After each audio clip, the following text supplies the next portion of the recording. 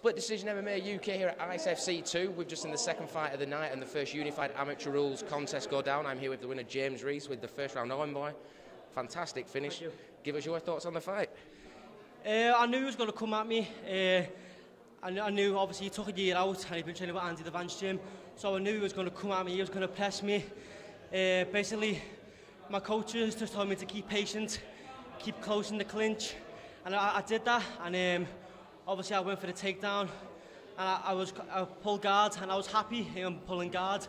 Uh, my coach Adam Lindop is basically uh, we spent so so much time off my back and the idea was if the submission wasn't there to get straight back up to my feet uh, and get the fight standing where I knew I could take it but obviously the submission was there Adam knew the submission was there and when I got the submission on uh, I didn't know it was fully on and when my coach was saying uh, just pull it straighten your legs I knew that was it. I, uh, so it was good directions, and obviously I followed it well, and he got the tap from it. So, yeah.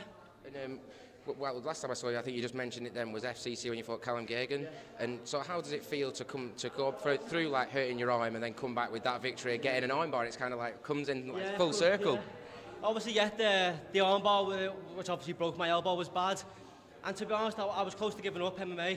I, I didn't want to do it anymore, but I know I'm going off topic, but my, my, me, my heart in credit, it can't go out enough to Sue King.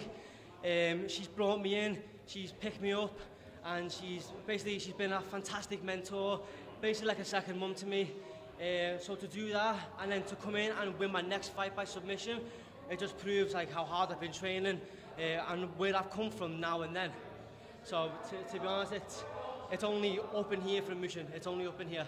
And um, we saw last, I think it was last week you had a boxing fight as well yeah. that you won as well. It's been a good couple of weeks for you. Yeah, that's two wins in two weeks. Uh, obviously, my teammate Marson won on ACB as well. But yeah, I thought boxing, it tests my stand up. Uh, and again, got to thank my coaches. As I, when they say jump, I say how high. If they think I can fight, they, if they know I can fight, then I'll fight. To win boxing one week and then to fight uh, on cage the next week has been good. Plus, I fought at two different weight classes. I thought that 71 week and 66 the next. And it made both cuts easy, so it's a testament to prove of how hard I've come and where I've come from there on out. So I'm looking forward to it. And we've, we've definitely seen the improvement. Um, you know, you've found stuff. I just sum up a little bit more. You know, like you went through a rough time with the. You know, you were going to give up MMA. Yeah. You know, how good is it to for them to, to start training with them, should I say, and just like just change you and like you know give you a chance to focus on your MMA and your boxing, and then it all just like like they say, hard work pays off. Is what I'm trying to say. Yeah, I say how it pays off, but um, I say I used to bounce around from gym to gym and just having, it, I, I don't call the gym the gym anymore because it's not, the gym's home. The gym, the only thing Sue doesn't do for me is cook me tea. Other than that, but she, she like my second mum.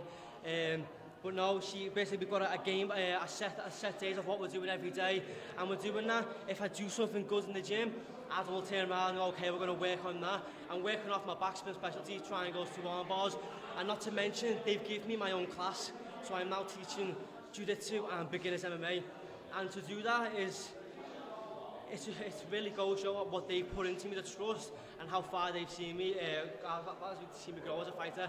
So, uh, yeah, I'd say my, uh, Rascal's not the rascal without his teammates. So, yeah, I just want to thank everyone, yeah.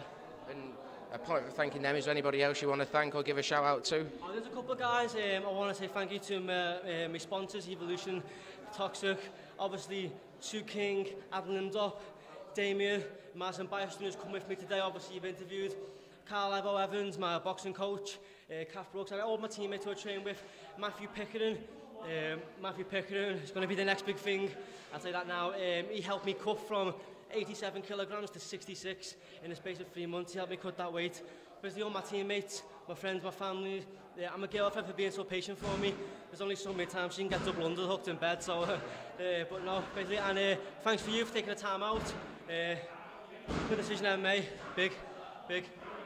I can only dream of that. Yeah. You've got a great victory. Always great to see you fight. I'm happy to see you get that win. And uh, Pleasure. Have a good night. Thank you, guys.